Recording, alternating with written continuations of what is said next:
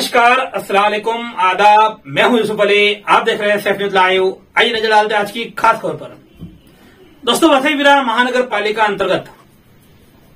कैसे कैसे अधिकारी, कर्मचारी हैं, आप सभी जानते हैं। इन अधिकारी, कर्मचारी के क्या क्या मामले हैं? हमने भी आपको वसई विरार महानगर पालिका के अलग अलग कई अधिकारियों की कुंडलियाँ बताई है। उसी में से एक अधिकारी जिनकी कुंडली काफ़ी दिनों से चल रही है वो अधिकारी है गिल्सन गोन्साल्विस उसके कारनामे काफ़ी मशहूर पिछले दिनों से हो चुके हैं। गिल्सन गोन्साल्विस ने महानगर पालिका में रहते कई कई कारनामे किए, वो सभी आप जानते हैं। इसी घड़ी में आज एक जो नई चीज़, नई जानकारी हमें जो हाथ लगी है। वो जानकारी बेहद अहम है और गिल्सन से जुड़ी हुई है। दरअसल, मेरे इस मोबाइल में एक नोटिस है, वो आप अपनी स्क्रीन पर देख सकते हैं। माफ़ कीजिए नोटिस नहीं है, ये है ठहराव। इसकी तारीख है तीस नौ उन्नीस सौ छियानवे। तीस नौ उन्नीस सौ छियानवे। यानी कि करीब करीब तेईस और चार, सत्ताईस साल जूना ये ठहराव है। यह ठहराव किया था नवगर मणिकपुर नगर परिषद ने। इस ठहराव में गिल्सन गोन्सालिस और उसके साथ दो जन, ऐसे कुल तीन जने थे। उन्होंने तब जकात नाकर अस्थाना, अक्षम्य व गंभीर गैर परिवर्तन गैरवर्तन तब के समय में टैक्स के लिए ऑक्ट्रॉय चलती थी, जिसको मराठी, हिंदी में जकात कहकर बुलाया जाता था। आज भी पुराने जकातना के विरार में और है, हम जकातना का जानते हैं। तो इनकी ड्यूटी वहाँ थी और उन्होंने अपने ड्यूटी में, कर्तव्य में गैर वर्तन किया था जकात नाके पे, इनको जहाँ तैनात किया गया था वहाँ। इस कारण नवगर मणिकपुर परिषद नवगर मणिपुर नगर परिषद से गिल्सन गोन्साल्विस को और उसके दो दूसरे साथी है जिनके नाम है इसमें, उन तीनों को निलंबित किया गया था। और इतना ही नहीं वह निलंबन आदेश तो नहीं है यह ठहराव है। इस ठहराव में विषय आया था कि नगर परिषदेच्या जकात विभाग कडील निलंबित तीन केलेल्या चौकशी अधिकारी, यांनी सादर केलेल्या चौकशी अहवाला विचार विनिमय करने इनका जो चौकसी अहवाल आया, जो जाँच का आया, उसके ऊपर क्या निर्णय हुआ और क्या ठहराव पारित हुआ, उसके बारे में इस पे लिखा हुआ है। तो इसमें लिखा हुआ है कि ये तीनों कर्मचारी तब के नगर परिषद के कर्मचारी थे जो बाद में महानगर पालिका में कंटिन्यू हुए। इनको, इन्होंने जकात नाके पर अक्षम्य व गंभीर गैरवर्तन किया और जिसके लिए इनका निलंबन हुआ। निलंबन के बाद इनकी जाँच हुई, चौकसी हुई और चौकसी अधिकारी ने इनका वार्षिक वेतन वार्ड इंक्रीमेंट जो बोलते हैं, दो बार दो बार का इंक्रीमेंट रोक देने का निर्णय का सिफारिश किया था। वो इंक्रीमेंट इनका दो बार रोका गया और यह ठराव सर्वसम्मति से पास किया गया।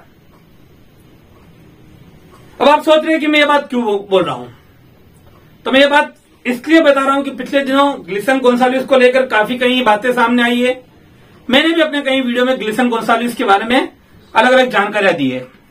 फिर भी ग्लिसन गोन्सालिस ऐसा अधिकारी है, इसको अपने पद का काफ़ी घमंड है, और यह किसी अधिकारी की, अपने वरिष्ठ की किसी की सुनता नहीं है।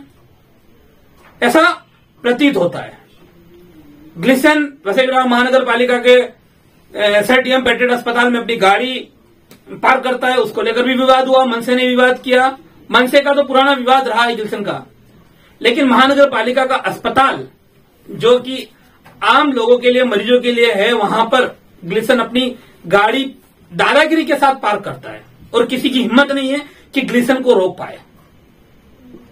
ग्लिसन की और कारण है, ये मेरे साथ, मेरे पास एक पूरी फ़ाइल है। उन्नीस दो हज़ार सोलह, सत्रह में जब ग्लिसन प्रभाग समिति एच ओ, माफ़ कीजिएगा, प्रभाग समिति जी वाली में था, तब इसने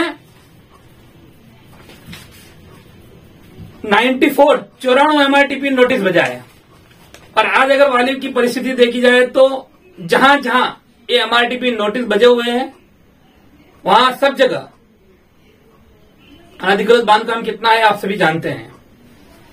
कहने की ज़रूरत नहीं है।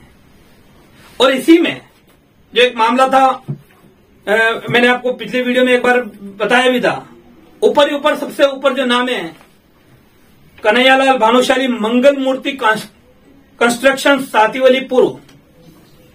Survey number 99 survey number 99 Dayaram Sharma Mangal Murti Mangal Murti construction Sativali पूर्व। ये एक एक 2016 को ये नोटिस निकले हैं।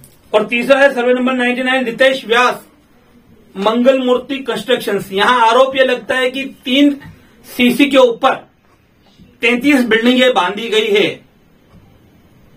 यहाँ पे यह आरोप लगता है। अभी 55 बिल्डिंगों का मामला हुआ वसई विरार महानगर पालिका में, जिसमें पचपन अनधिकृत पचपन बिल्डिंगों के दस्तावेज़ पूरे फोर्ट पाए गए और जालसाजी से करके पचपन बिल्डिंगें बांधी गई, ऐसा मामला विरार में भी दो महीनों में निकला। लेकिन क्या किसी ने इन मंगल मूर्ति कंस्ट्रक्शंस मंगल मूर्ति का जो पूरा वसाहत बसा हुआ है सातीवली पूर्व में उसके बारे में बात किया क्या? नहीं किया। क्या महानगर पालिका को यह पता नहीं है? क्या महानगर पालिका ने इसकी जाँच करवाई?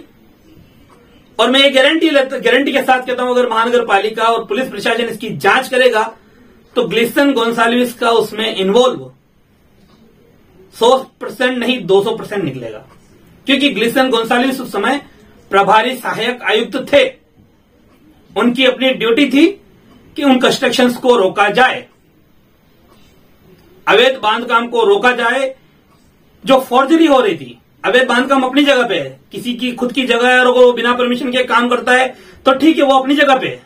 लेकिन यहाँ तीन बिल्डिंगों की परमिशन के ऊपर बत्तीस या तैंतीस बिल्डिंगें बनी हुई है। और जिनमें कई लोग रह रहे हैं। उन सभी लोगों के साथ 400 बीसी की गई है, उनको फंसाया गया है। तो यही चीज़ खुलासा आपके सामने दिखाने आया था। आज का ये वीडियो यहीं पे मैं खत्म करना चाहूँगा। वीडियो पसंद आया तो शेयर कीजिए लाइक कीजिए, चैनल को सब्सक्राइब कीजिए। और इस वीडियो को आगे शेयर ज़रूर कीजिए ताकि भ्रष्टाचार जो है निकले, सामने आए, लोगों को मालूम पड़े। और गिल्सन गोन्सालिस जैसे अधिकारी के ऊपर कार्यवाही हो।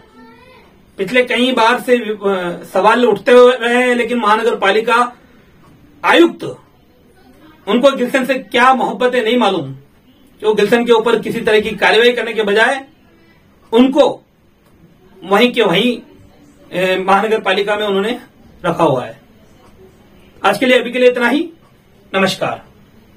हमारे चैनल सेफ़ न्यूज़ लाइव पर अपने व्यापार और सेवा से संबंधित विज्ञापन प्रसारण हेतु दिए गए मोबाइल नंबर पर संपर्क करें।